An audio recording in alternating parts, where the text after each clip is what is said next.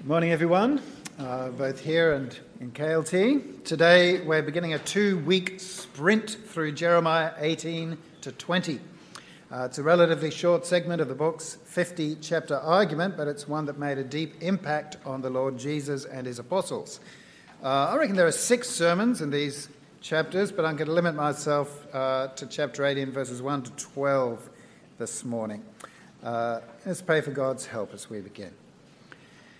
Heavenly Father, open our eyes to understand your word, to see you, and seeing you, to love you, and to live for you. In Jesus' name, amen. amen. well, let's start with some context.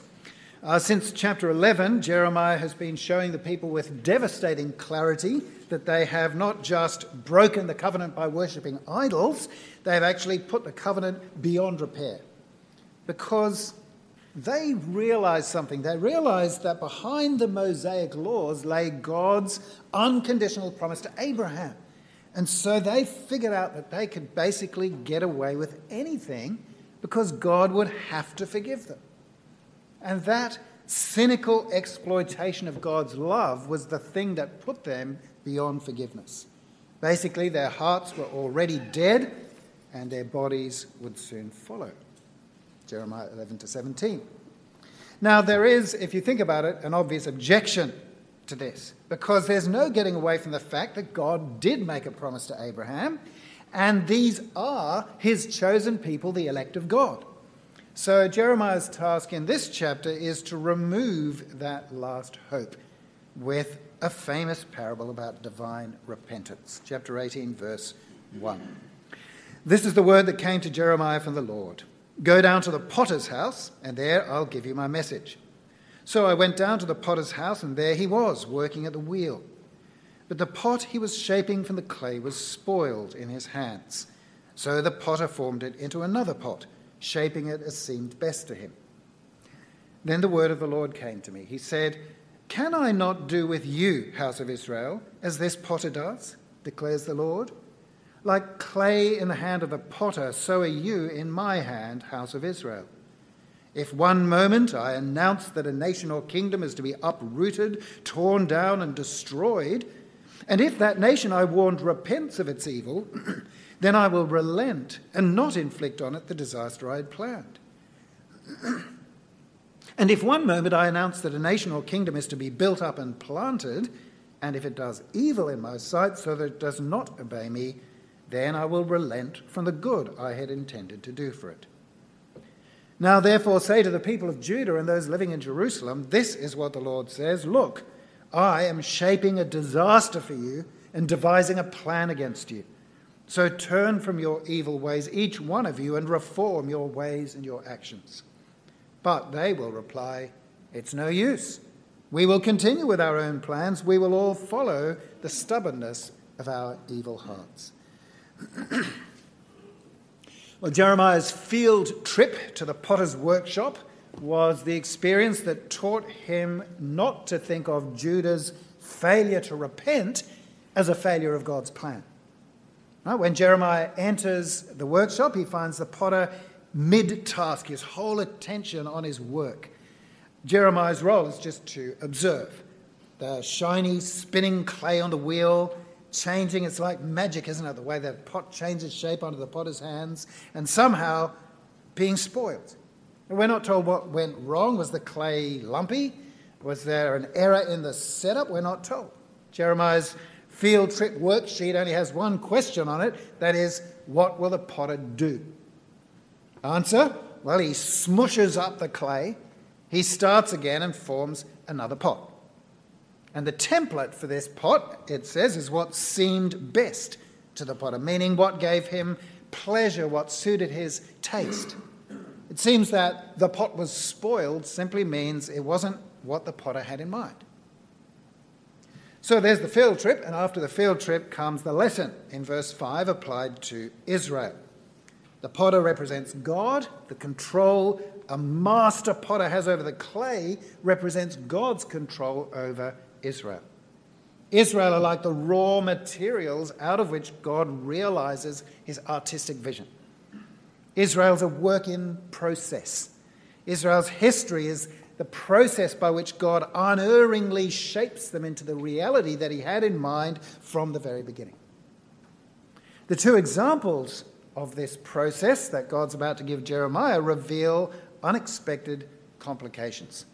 Uh, verse, verses 7 and 9 examine two key moments that might lead the potter to start again. And I'm going to call them moment one and moment two, just to keep it clear.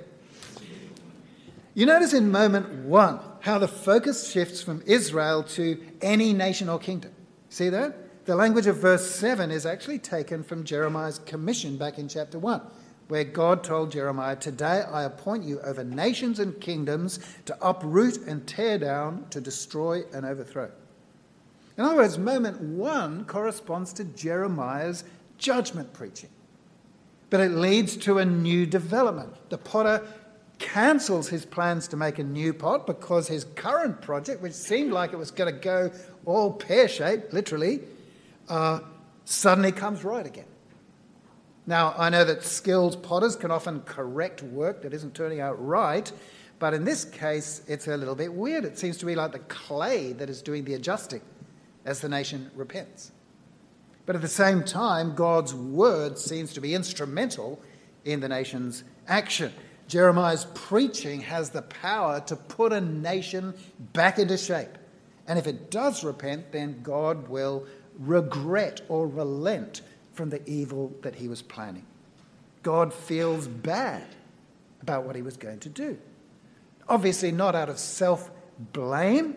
God's done nothing less than perfect. It's, it's that the very idea of destroying them is now a disturbing idea. God's change of mind is deeply morally engaged and wholehearted. It's moment one. Moment two is the perfect counterpoint. The action of building up and planting is also language from Jeremiah's commission, but Jeremiah never actually made an unconditional promise like moment two describes. It's a hypothetical. If he did make such a promise to a nation who then did evil, they would get smushed up so the potter could use the clay for another pot. And that smushing isn't actually described, you'll notice in moment two, just God's regret. It's the same word used back in verse 8. Some Bibles say, change my mind, or something like that, instead of regret or relent. Uh, but I don't think that's necessary. The word regret in Jeremiah always describes changing course away from doing something terrible. And clearly, it would have been terrible in this second moment to build up an evil nation. The horror of such a thing is something from which one rightly recoils.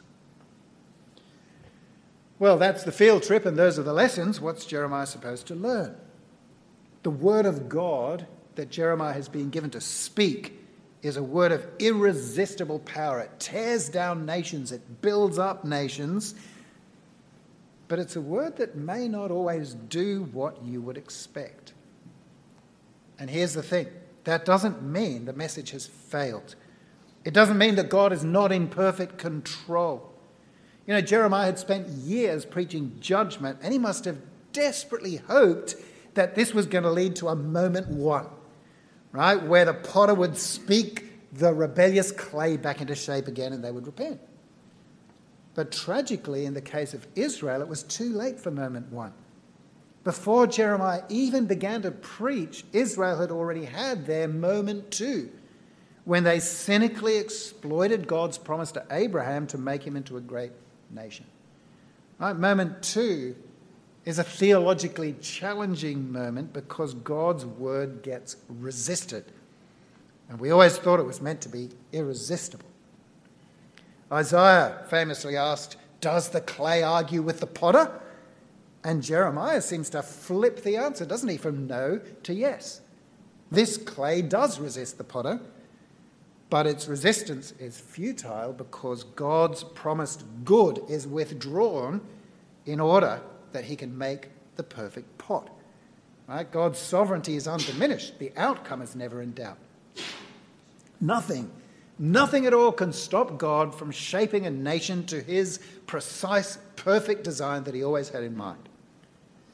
Well, what does this mean for Jeremiah? Two things. First of all, God instructs Jeremiah in verse 11 to create basically a moment three. Right? Verse 11 starts out looking like moment one. There's a call to repent. But this time, calling Judah to repent is actually God's plan for ensuring their destruction. They respond to his disaster plan in verse 12 with an idolatry plan of their own. And their words about following the stubbornness of their hearts are actually a quotation from the Israelite in Deuteronomy, whose cynical exploitation of the promise to Abraham puts them beyond forgiveness. Just how terrible it would be, how unthinkable to spare Israel, to spare Judah from destruction, is explained in the poem in verses 13 to 17, which I'll leave you to read at home.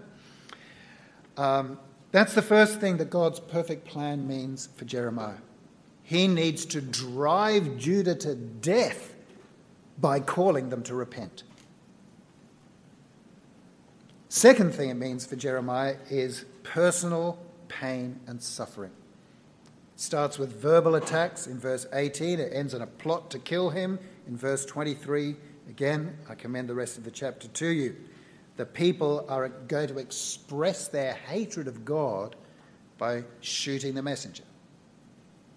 Now, we've got no time, sadly, to look at the rest of this chapter, but what I want to do is just step back and offer two reflections on how these three moments, moments one, two, and then three, help us understand God's character.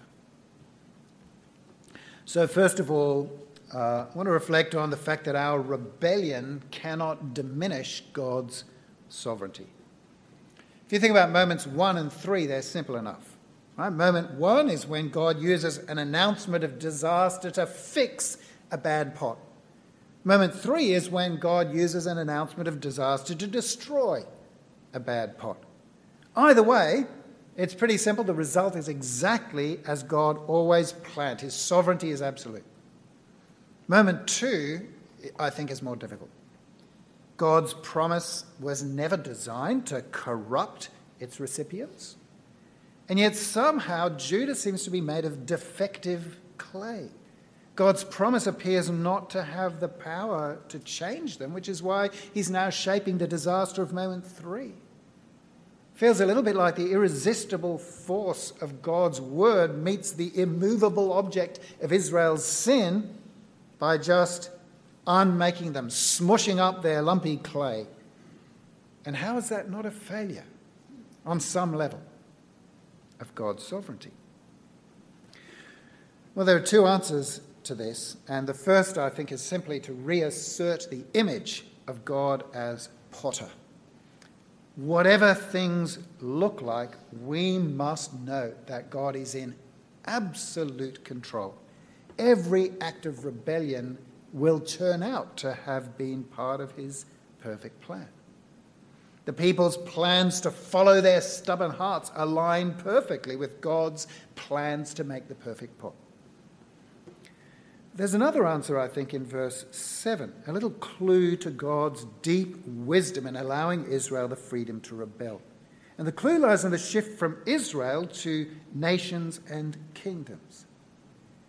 You know, God doesn't have a plan B. His last plan is his first plan, and it will include the nations.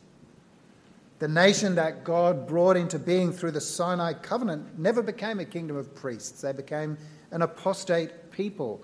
God's word has been rebellion generating. Why? Because through Israel's destruction, God will fulfill his promise to Abraham by forming an Israel from many nations. Abraham's seed will not be the sole component of the final clay. That's basically what the second half of the book of Jeremiah is all about. As we all know, the tragedy and the glory of Israel's rejection of God reached its climax in their rejection of Jesus Christ. And when Paul agonizes over that tragedy in Romans 9, he never for one moment considers that God's promise or power might have failed. Instead, Paul explains that God bore with great patience the objects of his wrath prepared for destruction. Why? To make the riches of his glory known to the objects of his mercy, whom he prepared in advance for glory, even us, whom he also called not only from the Jews, but also from the Gentiles. Our rebellion, moment two, serves only to expose the deep wisdom and eternal power of God and his goodness. Second is really a reflection on our freedom and the fact that it cannot diminish God's freedom. Because what does this even say about the character of God? You know, for some theologians, God's responsiveness to us means that he's constantly playing catch up, you know, changing his mind to accommodate to the free choices that we all make. But that's not what the Bible says, is it? Numbers 23 God is not a human being that he should change his mind. The trouble with Jeremiah 18 is that it seems to imply that God does change his mind. So, theologians have often focused the application of this passage onto God as he relates to the world, as opposed to God uh, in himself, which is what Numbers 23 describes. Aquinas said that God deferred his decree because of lesser causes, but there was no change in his disposition.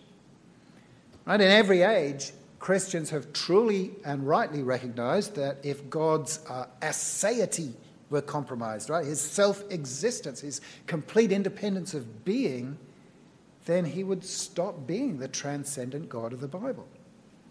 For Calvin, the idea that God might be responsive to our choices, might regret or relent or repent, is a mode of communication in which God, in order more effectually to pierce our hearts, clothes himself with our affections and God does that to uh, what Calvin would call condescend, to go down together with humans. Well, what does that all mean? Does it mean that God isn't really regretful? Well, certainly the God of Jeremiah doesn't uh, regret or repent in the same way that sinful humans do, but I think it runs very hard against the grain of Scripture to deny any real connection between the regretful face God shows us and his own unchanging essence. Uh, the theological challenge is to imagine how that might be the case without diminishing God's perfect nature, his immutability. And I think Jeremiah 18 helps us here as well. The illustration of the potter shows us that our actions and God's choice to respond to our actions actually become the means by which his eternal plan is carried out. Right? God's responsiveness makes our choices real choices. And as we'll see next week, the sufferings of Jeremiah display the intimacy with which God engages with his people. God's responses are marked by a deep regret that corresponds to the depth of the evil which his responsiveness prevents.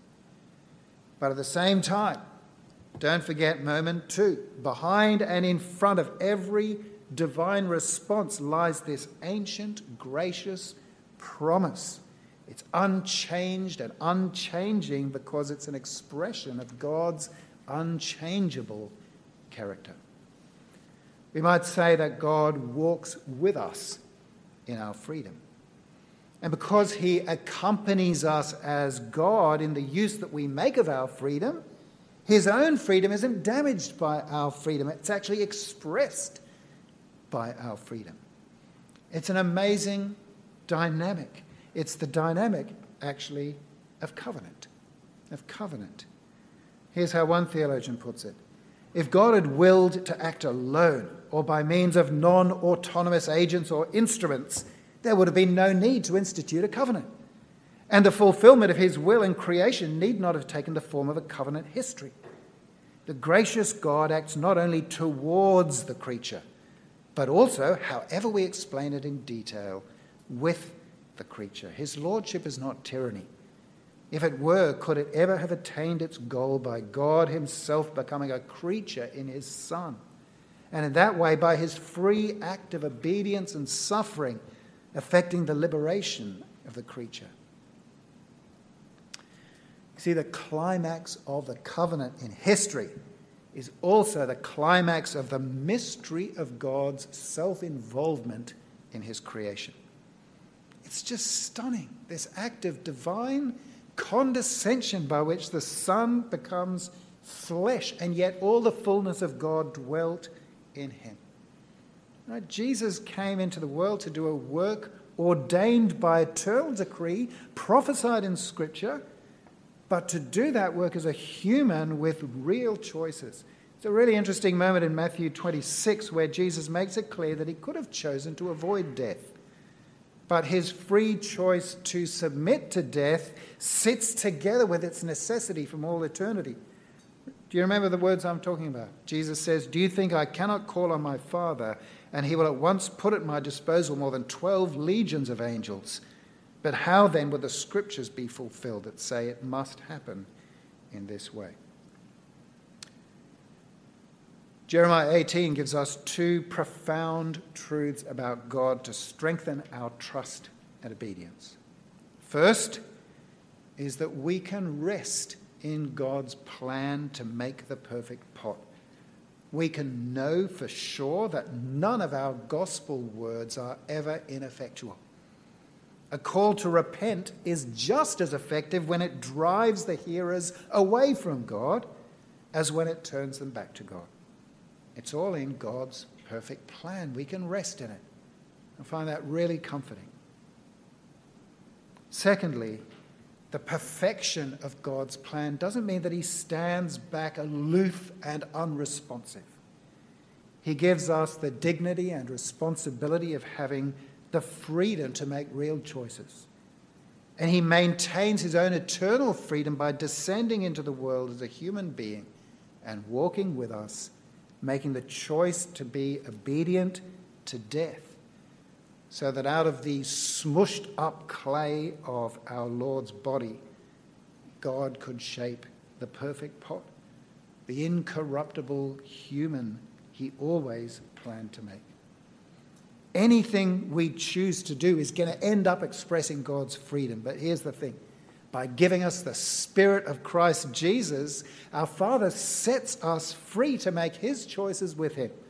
Isn't that amazing? To render service and praise to Him, to become part of His heavenly people, His perfect pot.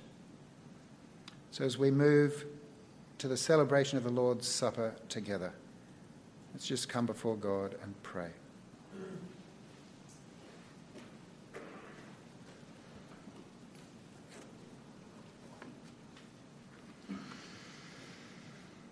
Be present, O merciful God, and protect us through the hours of this day, so that we who are wearied by the changes and chances of this life may rest in your eternal changelessness.